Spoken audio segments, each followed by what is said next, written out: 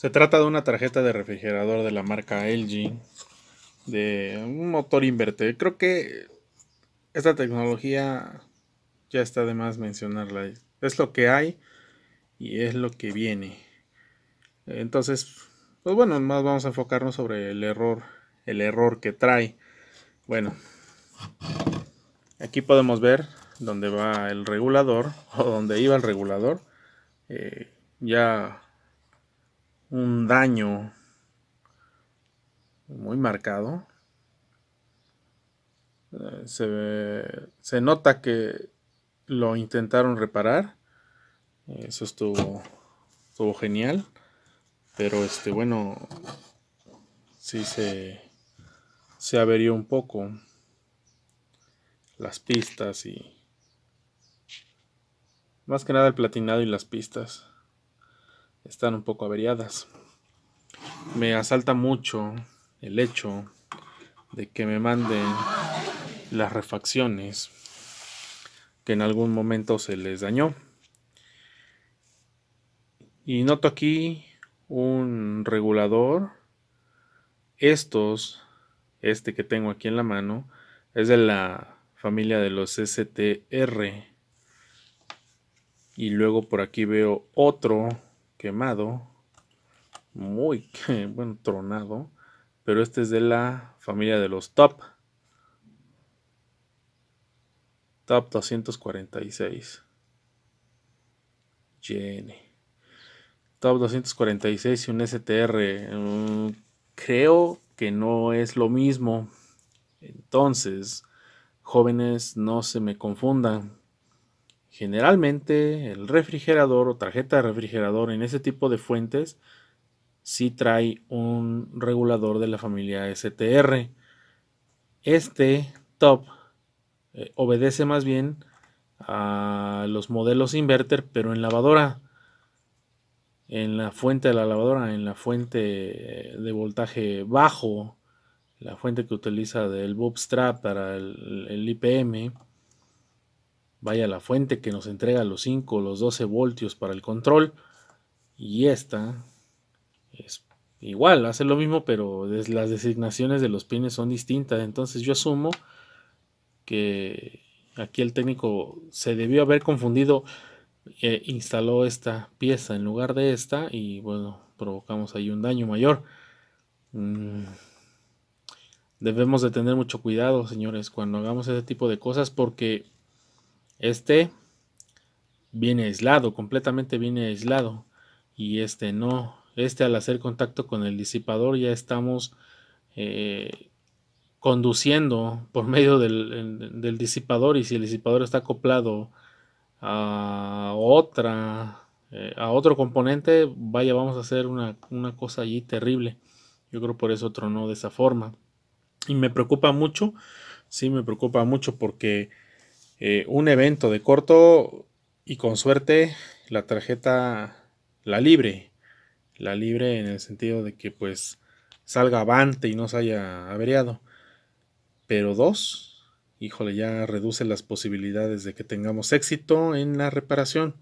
Sin embargo, pues tenemos que hacerlo, tenemos que arriesgarnos, tenemos que hacerle una revisión, pues para determinar si va a quedar o no va a quedar.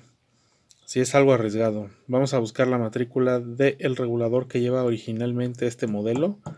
Son de las familias STR, por allí debo de tener el dato en alguna otra placa eh, de inverter de LG refrigerador y pues nada, de ahí vamos a sacar el, el, código, el número, y lo vamos a instalar.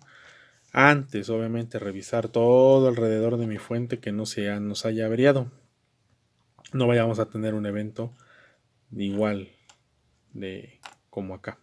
De acuerdo, bueno, vamos a revisarla. Muy bien. Ya instalé el nuevo oscilador repuse las pistas que se averiaron, la de los platinados que salieron dañados, con alambre, con cable extra, y aunque quedó todo, pues, no bonito, no bonito, eh, pero sí quedó funcional. Bien, el espacio lato, el STR, El STR que conseguí para esta tarjeta es el, es el, es el, aquí está. A ver si ven mis letras. STRW o W 6052S. STRW 6052S. Ese es el regulador que conseguimos.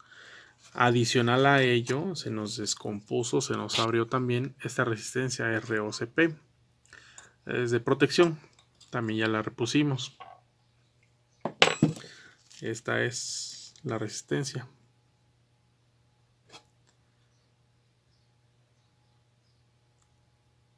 De hecho, bueno, colocamos esa resistencia de protección, ya colocamos este eh, regulador con su pasta térmica para que disipe el calor. El optocoplador salió, salió bien. Aquí hay un pequeño capacitor, también no salió averiado, este pequeñito.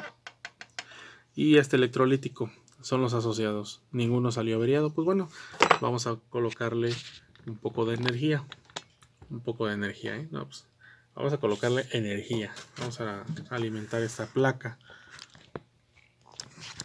para saber si al menos no tiene alarma, no tiene buzzer.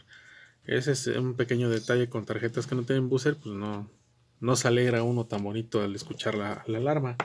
Pero bueno, para eso tenemos los instrumentos. Vamos a medir voltaje de corriente continua. Al menos debemos de tener 5 voltios en algún punto de estos conectores que son pequeños. Yo creo que vamos a medirle por aquí. Y si no es por acá, podemos medirle por acá. O por acá. Fíjate, tiene muchos conectores. Vamos a buscarlo de este lado. En dado caso de que trabaje.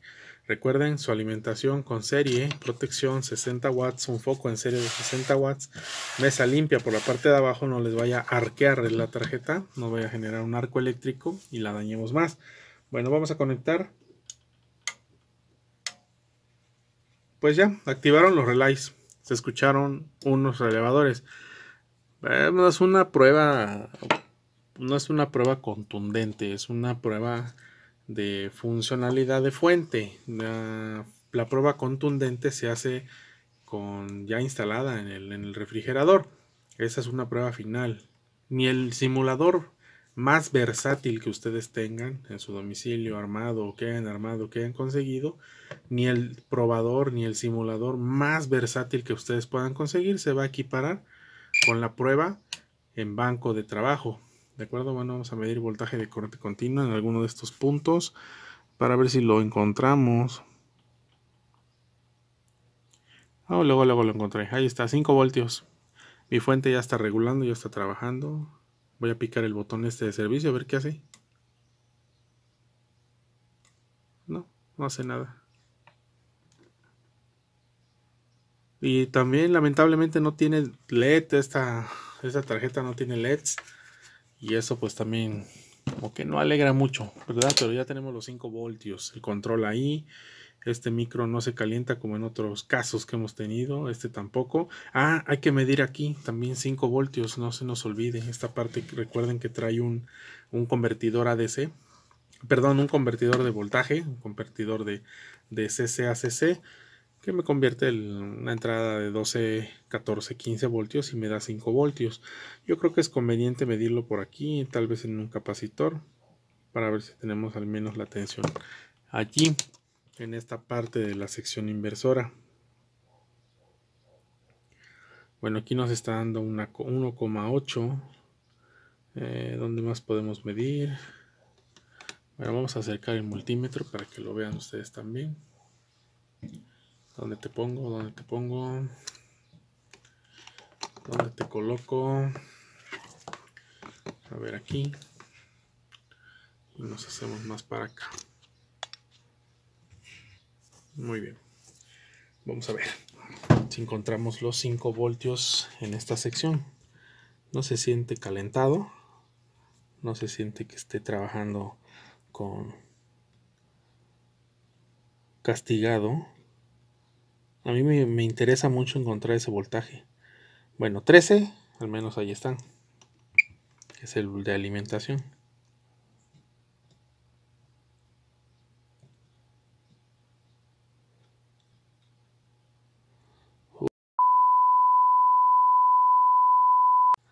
Ah, se nos cortó el video, se nos cortó el video. Bueno, vamos a volver a medir. Bueno, ahí tenemos 13 volts. Aquí hay un conectorcillo. Vamos a ver si podemos tener los 5 voltios aquí. Sí, ahí están, 5 volts. Bueno, eso ya me gusta más.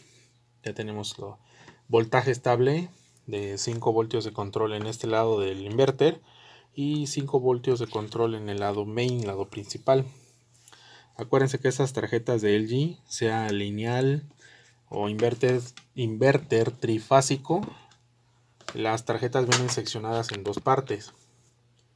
Lado inverter y lado main. Evidentemente su fuente dobladora y su fuente bootstrap, o la fuente de control eh, del resto de la tarjeta, ¿verdad? El voltaje es de 12, 15, 5 volts, 3,3, dependiendo de lo que maneje. Bueno, vamos a desconectar. Ya está desconectado. Vamos a esperar a que se descarguen los relevadores. Ya se descargaron porque incluso se escuchó un relevador que se soltó, se abrió, se, fue. Eh, ya no tenemos cortos en esta tarjeta. Ya está alimentándose y mi regulador, cero que está caliente. Cero que está caliente. Está a una temperatura, pues vaya, está frío. No, no está ni caliente. Está muy bien. Está comportándose bien. Eh, bueno, vamos a ver si es lineal o es trifásico. Aquí lo podemos ver. Eh, ¿Qué dice aquí? Capacitor. Capacitor con power. Bueno, es un. Es este.